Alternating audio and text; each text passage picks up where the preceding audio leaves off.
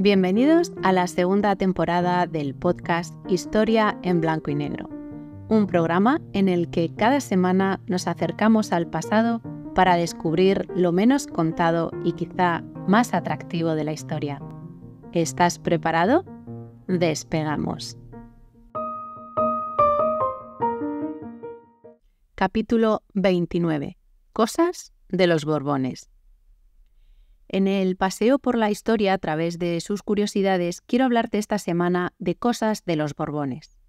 Hoy descubriremos por qué don Juan de Borbón eligió el título de conde de Barcelona. Porque sí, lo eligió él. ¿Quién fue don Juan de Borbón?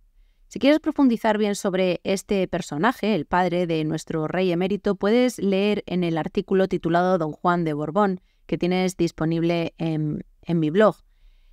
Mm, si no, yo te voy a decir brevemente quién fue para ponernos en, situación. Don Juan de Borbón fue un infante de España, como hijo que fue de rey, Alfonso XIII, y la persona en la que recayeron los derechos dinásticos cuando sus hermanos mayores renunciaron. Bueno, más bien los obligaron a presentar su renuncia.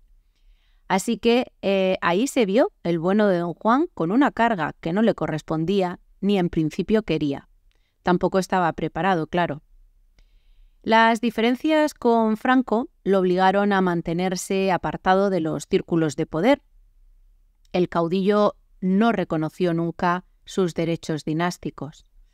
La historia ya la sabemos, lo ninguneó y se lo saltó de la lista, haciendo rey a su hijo, nuestro rey emérito, Juan Carlos y este nombramiento supuso un distanciamiento entre, padre e hijo, entre don Juan de Borbón y don Juan Carlos.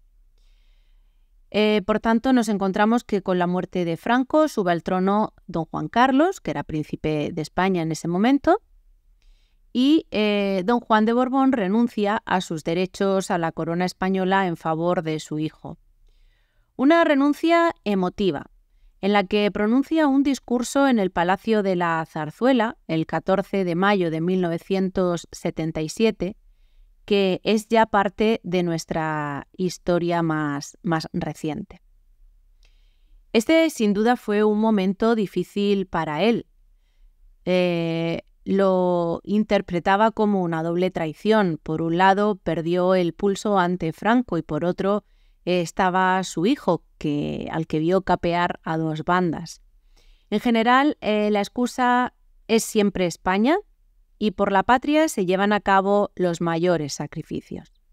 Aún así, don Juan ensayó su discurso de cuatro folios ante el conde de los gaitanes y también ante toda su familia. No se quería romper, pero los ensayos reiterados no evitaron que le temblara la voz cuando llegó la hora de la verdad. A pesar de la enorme trascendencia histórica de su renuncia, eh, que aportaba la necesaria legitimidad dinástica al reinado de don Juan Carlos, el acto apenas duró unos 15 minutos y se celebró, eh, como te decía, en el Palacio de la eh, Zarzuela, Mm, mediante una sencilla ceremonia y también muy íntima. Em, el ministro de Justicia, Landelino Lavilla, intervino como notario mayor del reino para levantar eh, acta formal de esta, de esta decisión. Reproduzco eh, las palabras exactas que mm, pronunció don Juan para entender bien esto del que te decía de que eligió el título de conde de Barcelona. Dice así, instaurada y consolidada la monarquía en la persona de mi hijo y heredero don Juan Carlos, que en las primeras singladuras de su reinado ha encontrado la aquiescencia popular claramente manifestada y que en el orden internacional abre nuevos caminos para la patria, creo llegado el momento de entregarle el legado histórico que heredé y en consecuencia ofrezco a mi patria la renuncia de los derechos históricos de la monarquía española, sus títulos, privilegios y la jefatura de la familia y Casa Real de España que recibí de mi padre, el rey Alfonso XIII, deseando conservar para mí y usar como hasta ahora el título de conde de Barcelona. En virtud de esta mi renuncia sucede en la plenitud de, sus de los derechos dinásticos como rey de España a mi padre el rey Alfonso XIII, mi hijo y heredero, el rey don Juan Carlos I. Majestad, por España, todo por España, viva España, viva el rey. Aunque en el acto, esto un inciso, aunque en el, en el acto los dos iban vestidos de paisano, eh, tras acabar esta, de pronunciar esta renuncia, eh, don Juan se cuadró ante su hijo en señal de acatamiento, quizá para evitar inclinar la cabeza, lo que para él eh, resultaba quizá más humillante aún. De cualquier modo, aquí tenemos estas cosas que te decía de los Borbones. Don Juan pide el título de conde de Barcelona para él. ¿Pero por qué? ¿Qué implica? Este título de conde de Barcelona es un título regio y con mucha historia, porque desde 1164 fue exclusivo del rey de Aragón y luego, por razones de sucesión hereditaria, del rey de España.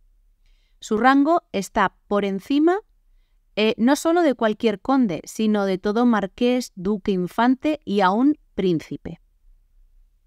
Y es que ya sabemos que es el rey quien eh, otorga y también quien quita eh, estos títulos. Sin embargo, el de Barcelona es un condado que está exento de todo esto. y es sencillo.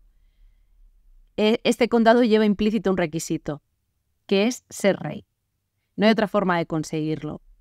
Por tanto, el conde de Barcelona, de la ciudad condal por antonomasia, era el rey de Aragón, y luego, por transmisión directa de Fernando el Católico a su nieto mayor Carlos I, rey de España. Así es como nos llega.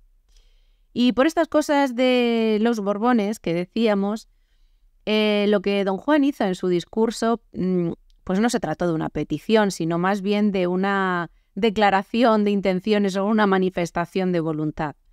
Eh, dice exactamente, deseo conservar para mí y usar como hasta ahora el título de conde de Barcelona. Como hemos visto, eh, es que no hay, mm, es el conde de todos los condes, digamos, de todos los marqueses, y es lo máximo que puede ser, si no rey, al menos tener eh, ese condado. Quizá como un premio de consolación. Por supuesto, su hijo don Juan Carlos se lo concedió y tuvo la deferencia de no usarlo él hasta eh, la muerte de su padre en 1993.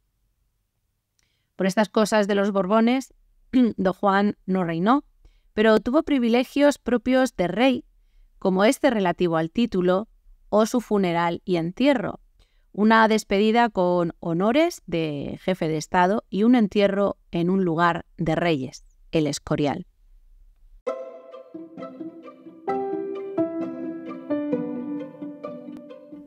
Te espero la próxima semana para dar un nuevo paseo por el pasado. Mientras tanto, disfruta del presente. No olvides suscribirte al canal y regalarme un like si te ha gustado.